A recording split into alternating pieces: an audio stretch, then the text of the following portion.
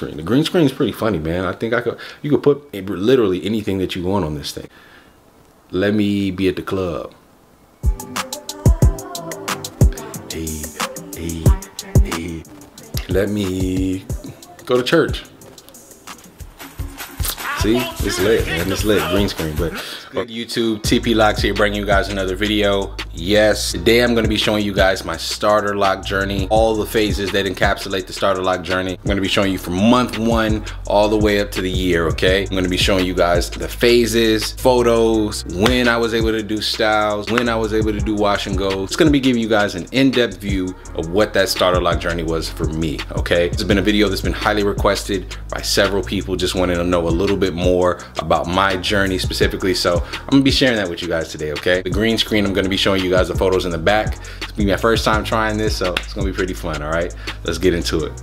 If you are new to the channel, please hit that subscribe button right now. This channel specializes in dreadlock journeys for sure, but we also give you vlogs, other entertainment. If you like this video, you might like other ones, so go and hit that subscribe button and hit that notification bell, all right?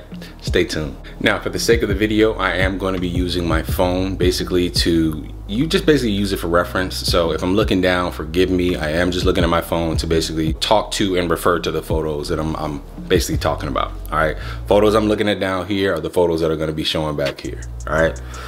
This first photo is just a photo of where my hair started. I hadn't grown my hair out even a year up to the point that I decided to get my hair locked. So it was very, very short. You know, it wasn't something that was braidable. It just was very, very, very, very, very short hair. So that's that photo right there. Really nothing too significant. But again, this is all at the top of 2018. Going on into March, I did get my locks done in February 24th, so I didn't have a photo of that unfortunately, but I did have a photo probably about two weeks post retwist. So that's what this photo is here. And as you can see, man, it's nothing special. Very, very short starter locks. Definitely um, a little bit more substantial up at the top, but on the sides, very, very short, prone to coming out, very, very rough to start at that length, but you know, that's where I started. One thing I can tell you as a tip to sort of get through that phase, you know, I was definitely rocking it and it definitely helped to have a high top set because with high top set, it was really just a matter of just letting the hair lay back and just keeping a good fresh lineup. It's very, very easy to deal with the quote unquote rough phase. Now here we go into uh, April.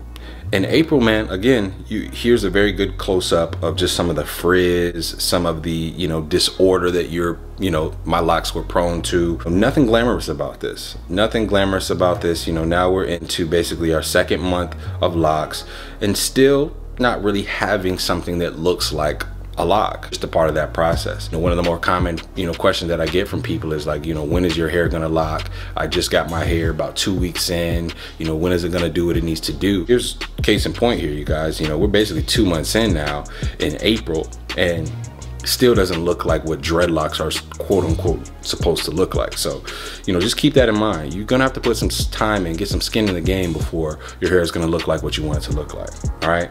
Now going into May, beautiful thing about May was I started to bud a lot more, a lot more budding, you know, a lot more locks that stayed put when I washed them, which was an amazing thing. But, you know, at least 60 to 70% of my hair still was not at that lock fade. A lot of my locks on the side look like, you know, they were barely holding on very very small locks keep that in mind you know this this phase got some budding but not all my hair that is typical. Some of your hair will lock quicker than the other parts of your hair. I know for me, my crown and other parts in the back of my hair tend to take a little bit longer to lock because they are different textures, but I definitely did have locks, more buds in the front earlier on.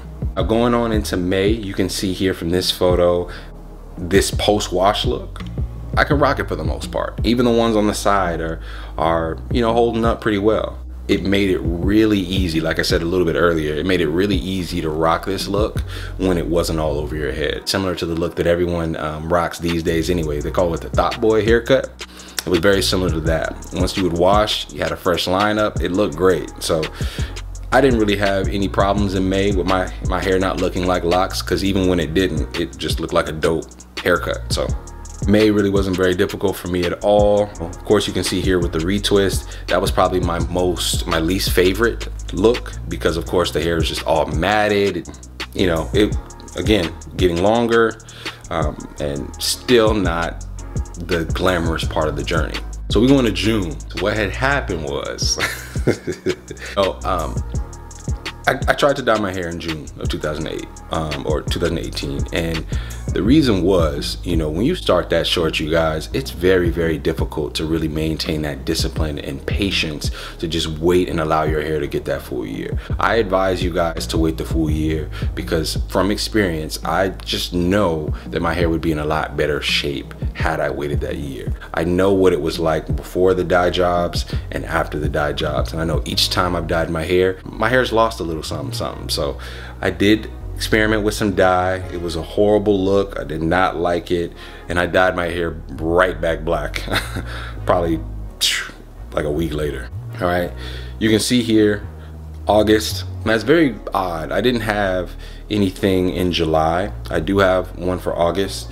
Um, around this time in August, I was in St. Louis for a design and inclusion conference, but apparently I only have one only have one photo like this. I will tell you this, the interesting thing is August was actually the first month that I started doing like braid style. At this month, in August of 2018, was able to braid those locks and give me a style. It was dope.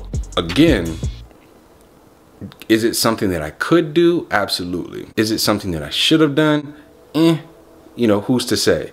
The the braid style looked great from what the pictures, you know, from the little pictures that I do have. It looked great, it felt great.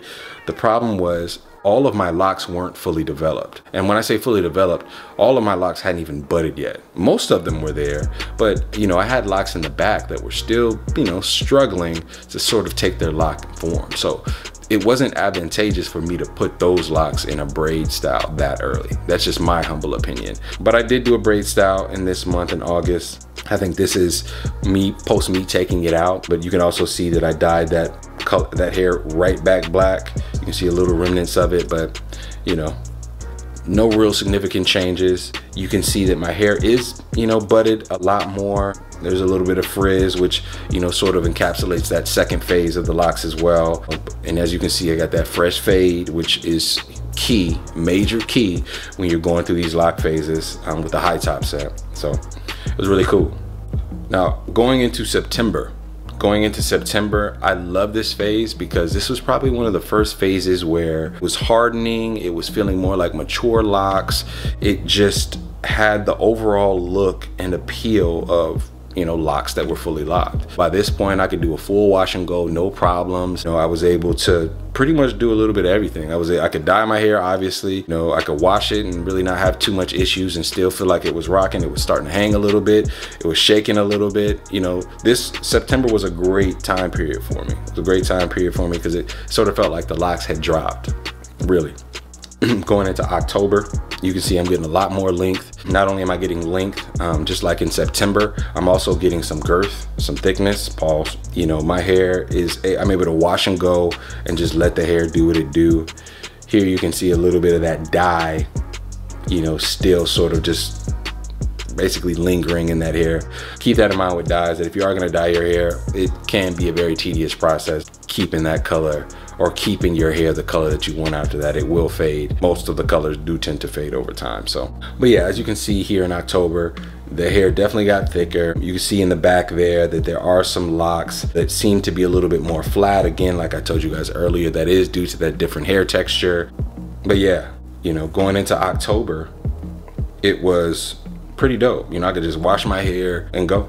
Now, the crazy thing is, you know, I included this little shot from November because while my hair was doing all that progressing and all those angles seemed to show you my length, I was still sort of on the shorter side of locks. Here we are in November, basically, right? And we're talking about basically nine months in my journey, and that is the length of my hair. No shame in it. But like with most people, nine months in, there's a little bit more, you know, a little bit more hang time. I didn't have very much hang time, but what I did have was locks that were damn near fully locked at this point you know, damn near. One thing I liked about this this phase is that you know, I don't know, it was just those. It's, it's something charm. There's a there's a bit of charm factor with the shorter with the shorter locks, especially this phase. I think it was just really, I don't know, it was just I don't know. There's a certain like swag about these at this length. You know, I was definitely feeling them and had gotten the full swing of the lock journey by this point. Now going into December, by this point, the locks are just completely cylindrical. The frizz is dying down a little bit. I mean, as you guys can see from this shot, I mean, the locks are just, they have matured so well.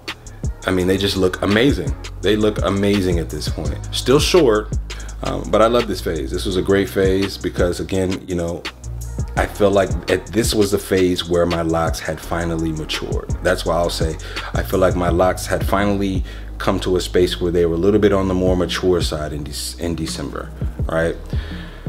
Now, just for a recap, I'm gonna we're gonna go all the way back to the top, right? Now, this is just a recap for everybody who's very interested in those benchmarks, all right? I started to bud around May.